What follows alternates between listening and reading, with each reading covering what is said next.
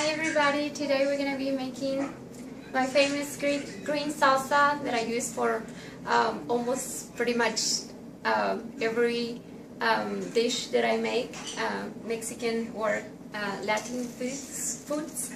So um, we're going to start by, um, I'm going to tell you what, what are you going to be needing for this recipe.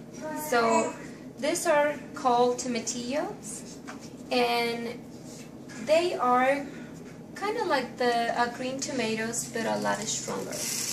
And uh, they come in a shell as you can tell. And you can buy these tomatillos pretty much in um, everywhere now. I find them in at Walmart Kroger um, and a lot of stores they carry them so. And of course uh, your Mexican store or your local um, Mexican store as well.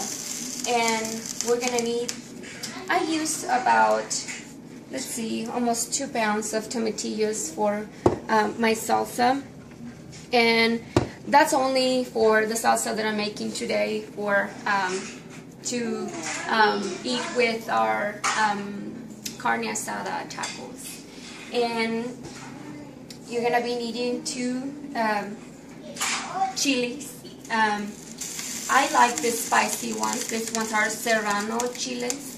And um, some people use jalapenos, which is fine.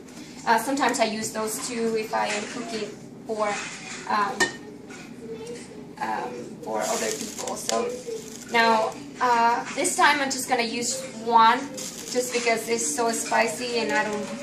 Um, I have some friends that are here um, to um, eat with us today. So, anyways, um, but if it was for me, I would pick five of them. so now, um, so you're going to be needing um, water. We're going to boil the tomatillos. So just enough to cover the tomatillos. In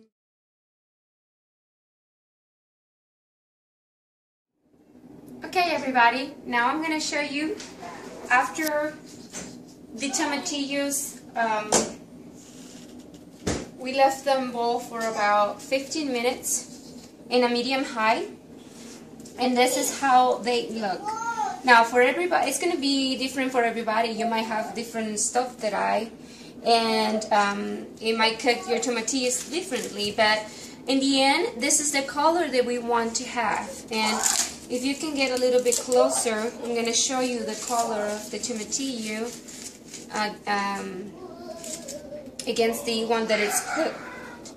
So as you can see, this is pretty green, and this one looks kind of like um, different of green. And as you can see, it's pretty mushy.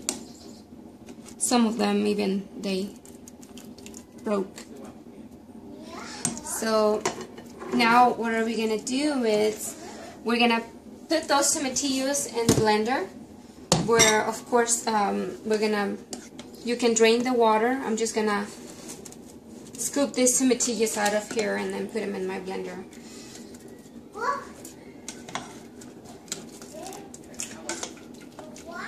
Now I like to use a lot of spices in all my dishes.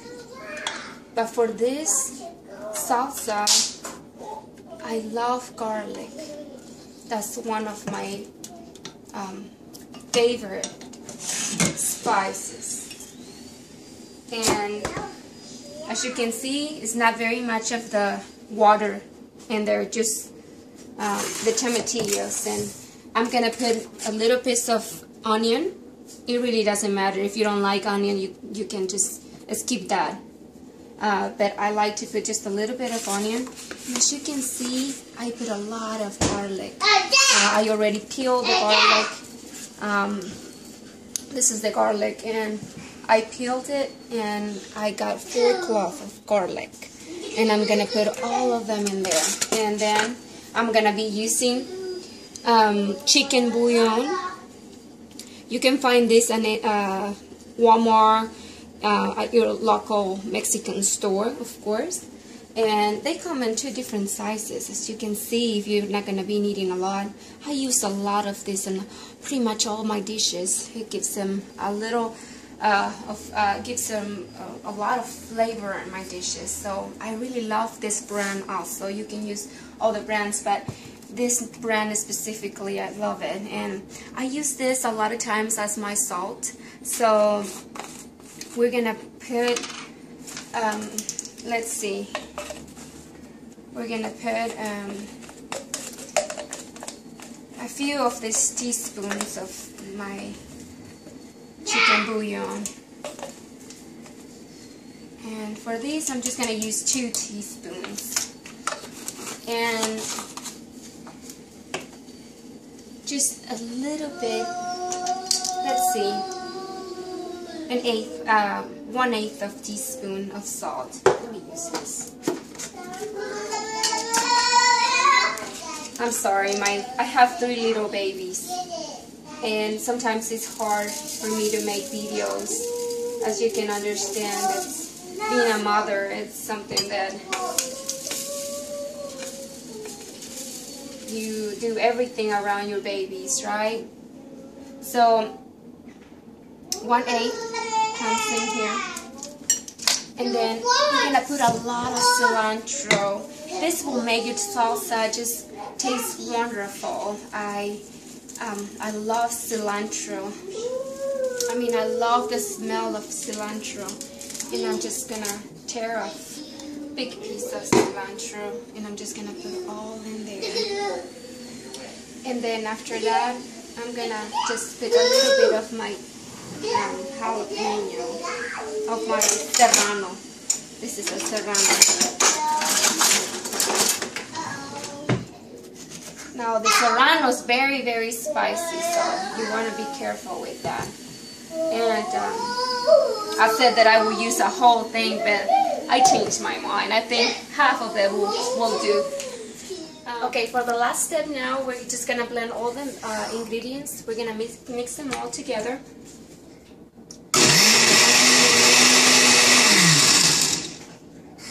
As you can see, I just did one pulse, and then we're going to wait. And then the second pulse.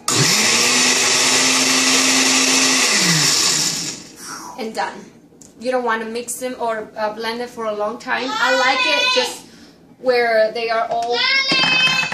Sorry about the voices. My boys are hungry. okay, so this is the final product. You guys are to love this recipe.